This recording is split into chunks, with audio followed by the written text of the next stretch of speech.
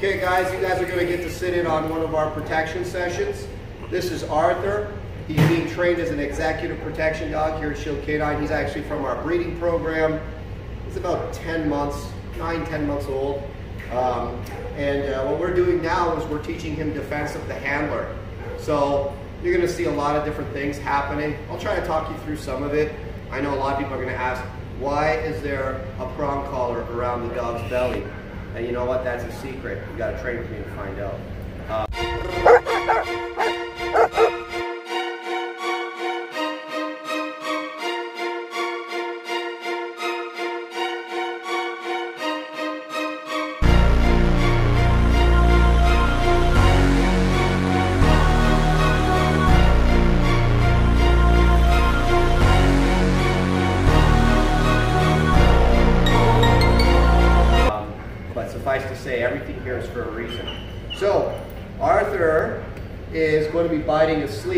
Just going to be learning to come to the handler's side, stay next to the handler, and protect the handler from the bad guy. And then when he's doing well, I, as the handler, am going to send him to bite the bad guy, and the bad guy is Dylan. So, we're going to start. We're going to put Arthur close to the bad guy. Sit. Now, Arthur knows what a sleeve is, obviously. So right now we're practicing with the sleeve, really obvious for the dog. And I'm going to give him the act. No, not yet. There you There you see kind of preempted. I'm not going to let him preempt. He has to wait for the command.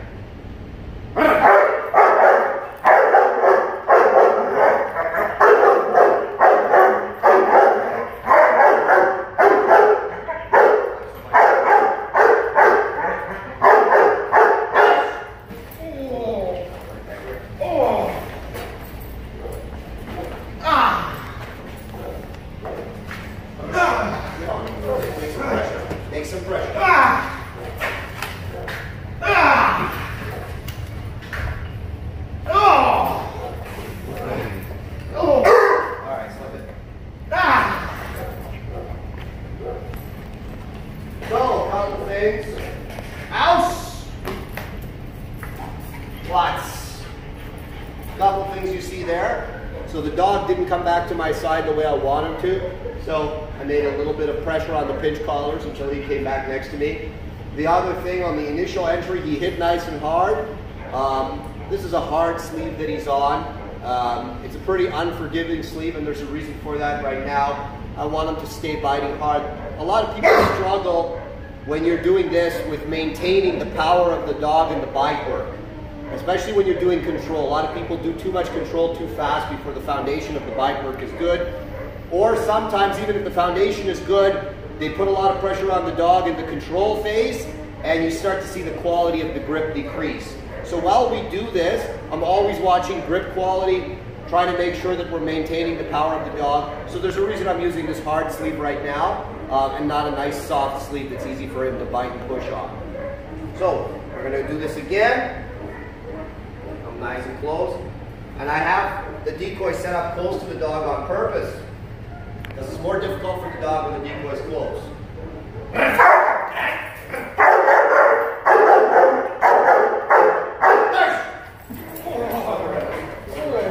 So that time we went with a slip right away. So the dog actually made him, so he's been out have a while. Ouch! Since he did that, flats. It's been a while since he did that. He actually took a cheap shot at the decoy instead of coming next to me. So now we're going to practice that again. And he's going to learn, hey man, you cannot do that. When you hear the command, you must come next to me. And we're intentionally trying to stimulate him to bite the decoy. Because this is an exercise. Ah! Nope. Flats. This is an exercise in self-control. This is not supposed to be easy.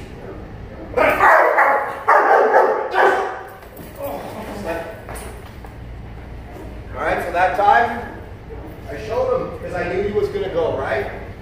Aus. Flats. I showed him because I knew he was going to go, right? And I intentionally set him up for it, and then I put a heavy pressure on him after I gave the command to get the dog back to me. The second he was back to me, release for the bite. Go next one again. Ah, nope, flats. And again, I don't want preempting. I know he knows what's happen. But preempting doesn't help this training process. The dog has to wait. Wiggle that sleeve. So the decoy is going to wiggle the sleeve, make a little more attention. Kiss your teeth at him.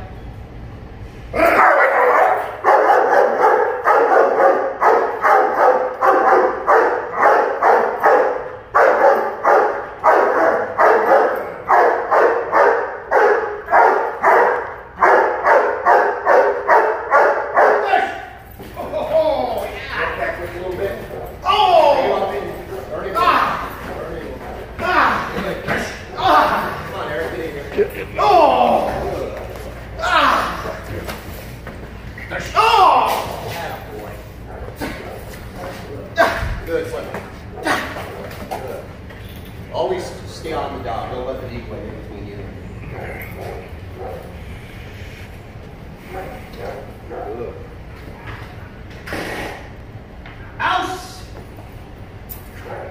Lots.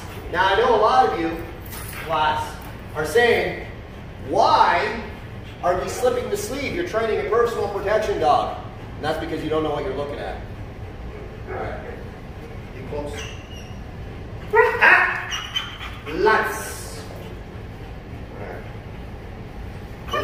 Nope. Lots. Nope. Lots. Dark. Oh! Hey man, work that grip. Ah! Work your grip. Oh! Nope, none of that side shit. Ah! He lets you peel them off. Peel them off. Ah! Peel them really hard. Oh! Good boy. Oh! So you can see too much anticipation. So what did I do? I told him to bite. Right? I saw that the dog was overly anticipating what was going to happen. So I told him, you know what, bite. And he was a little bit unsure about it at first. That's why you saw a bit of a half grip. And then he went in and he bit, which is what he's supposed to do. Ouch! Lots. A lot of people only will show you the finished product, everything all nice and clean, and we have plenty of those videos up. But I think for some people it's interesting to see a little bit of the process of why we do what we do and how we get where we get.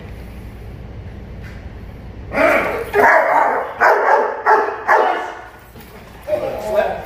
All right, now let's do that again. So that time, the dog anticipated a bite. But because I was a little bit on the ball with my collars, with my leashes, I caught him and I brought him to the correct behavior. Good. Aus!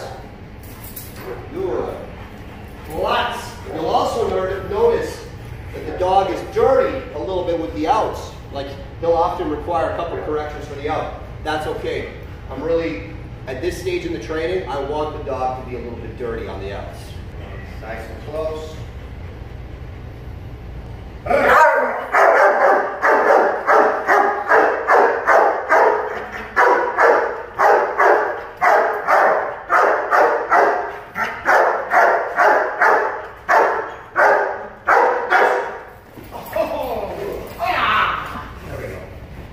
there you saw, right? I kept the dog in the barking a little bit longer.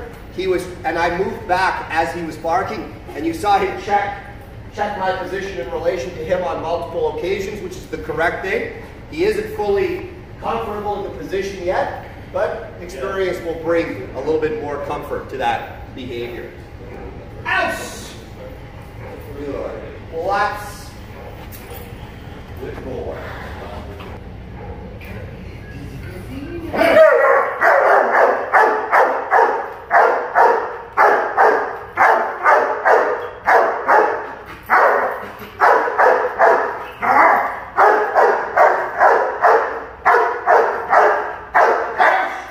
Oh!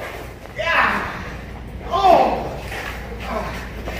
Ah! Not just like physical pressure. Get in. Ah! Ah! Bring him over your leg a little bit. Hold him. Ah! Ah! Oh! All right. So you can now the dog's tired. Grips are starting to get a little munchy, so that's it. We're to stop for now. But I'm also having the decoy when the dog makes the makes the bite. I'm having the decoy work the grips a little bit, get a little bit intense on the dog, and try to push him a little bit mentally so that he reacts by biting harder. So for now, oust. Lots. Lots. Good. That's it. So for now, we're going to end the session. Um, we can see a couple things that we need to work on. Um, what we're going to do is we're going to keep working this until it becomes a little bit cleaner. Add the e-collar. I really like this exercise even for people say, oh, it's just a sport kind of thing, the defense of the handler. I actually like this exercise for real work too, because a lot of handlers struggle with their dog dealing with arousal, especially if the dog is anticipating a bite next to them. You see a lot of handlers get bit with the, just trying to hold their dog back. I'm talking like police canine handlers. They get bit just trying to hold their dog back when the dog is anticipating a bite, whether they're stacked up on a door, whether they're behind the behind police car, you know, doing their warnings, whatever it is that they're doing, you see a lot of them struggle with the dog when the dog is anticipating a bite next to them. And this prepares a dog for that, where the dog can be in drive and can be anticipating a bite next to the handler and still not be dangerous to the handler. And it actually gives you the ability to light the dog up right next to you without worrying about that redirect happening. And this is not, this is just part of the process. There's a whole bunch of stuff we do before this to prepare the dog for this part. If you just slap a prong collar around your dog's belly and one on his neck and start trying to do it, you're gonna get bit if it's a super strong, intense dog. Or if it's not, he's just gonna fall apart and not wanna participate at all. So there is there's a sequence of things that we do to get the dog to this place. And also, there's a certain level of quality that you need in a dog for him to be able to do this. Not only quality in terms of hardness of the dog, but also stability of temperament. If you've got a real unstable guy and you do this, it's going to be a little bit of a, a, a journey, you know, and it's, and it's going to be always maybe a little bit dangerous for you. And I know everybody's like, "Oh, my dog can't do that. He's too he's too real." He's, it's probably not. You know, he's probably just not properly trained. But anyways, that's my opinion. Have a good one.